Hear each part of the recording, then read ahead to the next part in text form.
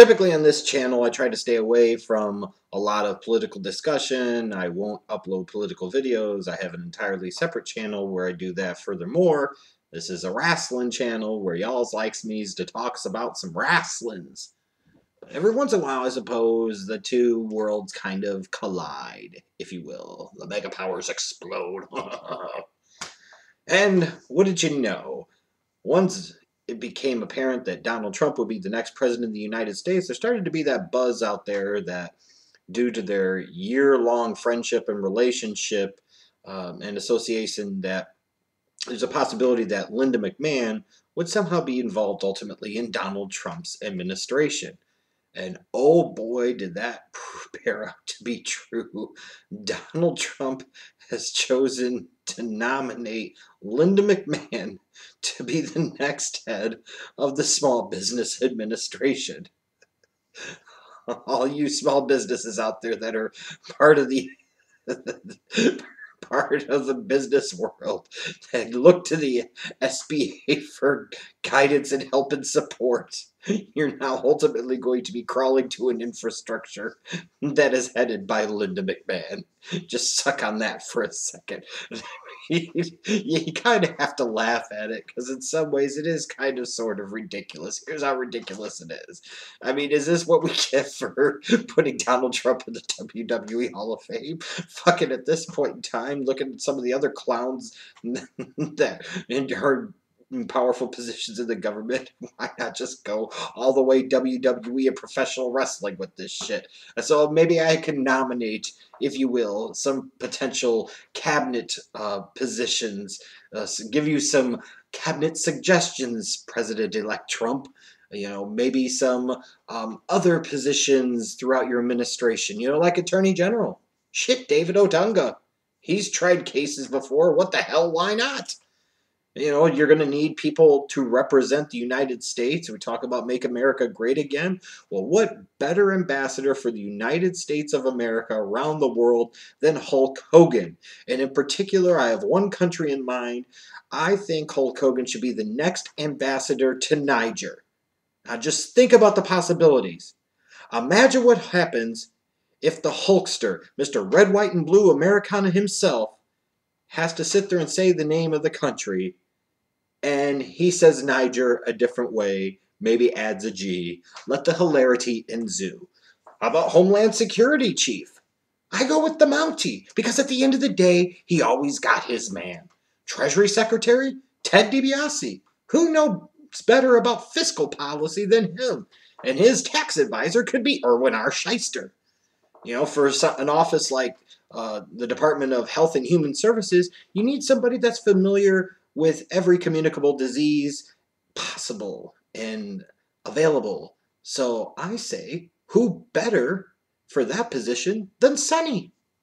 Some might say Missy Hyatt, but hey, either way, lots of experiences with diseases, if you catch my drift. You know, education is critical to the future of this country. Our youth are our future. So who better to lead the charge as the education secretary than Scott Steiner? You could take Common Core standards and shove them up your ass. Give me a Scott Steiner math lesson any day of the week. Isn't that right, Samoa Joe? With that 66 and two thirds percents.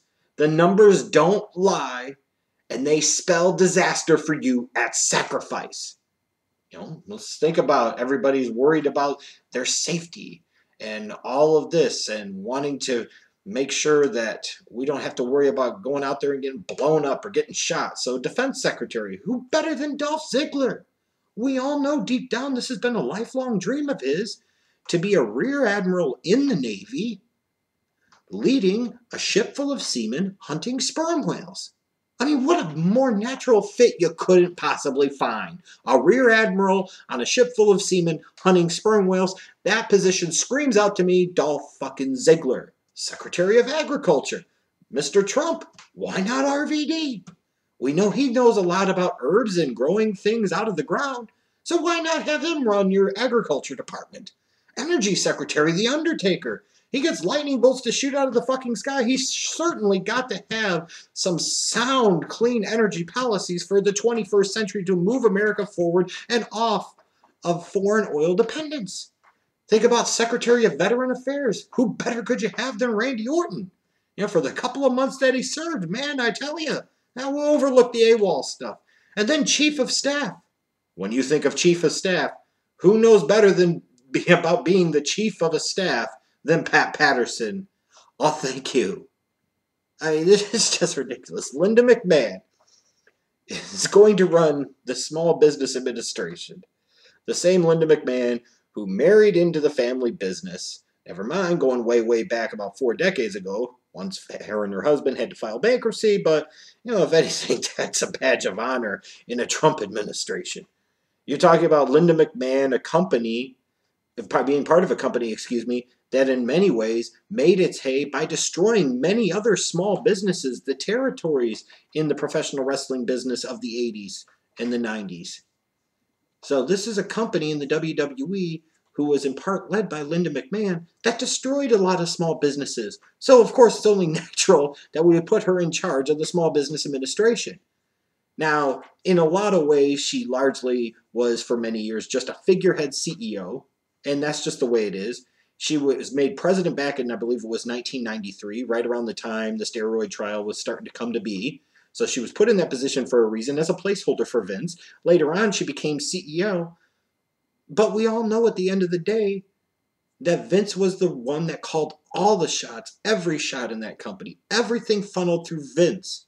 So we now want Linda McMahon to run her own small business administration when she didn't even run the company, frankly, that she was a CEO of. Furthermore, if we want to sit there and say that she actually did run the company, let's look at some of the raging successes over the years, like the XFL, the Times Square restaurant, WWE Studios. Need I continue?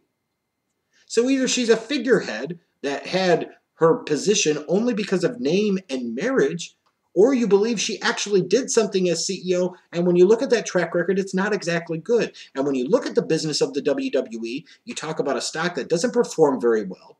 You're talking about a company that during Linda's tenure lost about half of its domestic viewing audience because that's some type of badge of honor, right? We're talking about somebody in Linda McMahon you want to put in charge of the organization that oversees small businesses throughout this country you're talking about somebody that utilized so many loopholes and tricks in their organization to employ wrestlers as independent contractors, meaning for a big corporation like the WWE, they wanted to act like they were a small business even though they were anything but, all the while meaning that they didn't have to pick up any of the tab when it came to the wrestler's health insurance. They didn't have to pay into any unemployment insurance, provide any type of unemployment benefits meaning they didn't have to kick in their half of the Social Security tax. All the while, while sitting there and having all of these performers signed as independent contractors, dictating where they worked, who they worked for, why they worked, and all of that. That's not an independent contractor. That means you're an employee of that company, but yet somehow for all these years the WWE's been able to get away with that.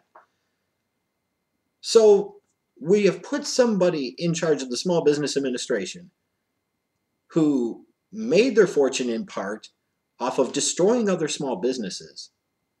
And even now, especially when you talk about the way the company's been run over the years, the WWE has done a lot to fuck the people that have worked there. This is the person you want to lead the Small Business Administration. And above all else, if anything else doesn't convince you that this is ridiculous on so many different levels, this is the same Linda McMahon that spent upwards of $100 million combined on two failed Senate races. Let me get this straight. Our president elect has decided to nominate for the head of the Small Business Administration somebody who spent more money to lose two different Senate races in Connecticut combined than Donald Trump spent out of his own pocket to become the next president of the United States. I, I just want everybody to think about that for a second. So this person, who in many ways is only a figurehead, when we all know at the end of the day everything ultimately ran through Vince and everything had Vince's fingerprints on it. So Linda McMahon in no way, shape, or form was really truly a CEO at all, is now going to be in charge of the Small Business Administration. The same Linda McMahon, whose company for many years, under her oversight, continuously fucked its wrestlers by trying to get them to always sign contracts as independent contractors, which they always have, meaning they didn't have to pay health insurance, didn't have to kick in anything towards unemployment benefits, didn't have to pay the Social Security tax. That's the type of crap that we can expect to come down the pike from the SBA in the next four years. And above all that, again, she couldn't even buy a Senate seat. So basically, you're telling me that this person who married into an advantageous situation or what became an advantageous situation only had her position in large part because of the name, because of the marriage, who wasted a $100 million of her own personal fortune, her family's personal fortune, to lose two separate Senate races in a two year span. We think this is a good idea to put this person in charge of anything cabinet level in the next administration. I don't give a shit if you voted for Donald Trump or not. I don't give a shit if you like Donald Trump or not. I don't give a shit if you think he's going to be a good president or not. But to sit there and tell me that Linda McMahon is qualified to lead the SPCA, a less qualified person there could be. I wouldn't want her running the SPCA, let alone the SBA. It's funny, but it's funny in a very sad, pathetic, oh my god, how stupid is this fucking country way? $100 million to lose two Senate races, and we want this bitch running the Small Business Administration.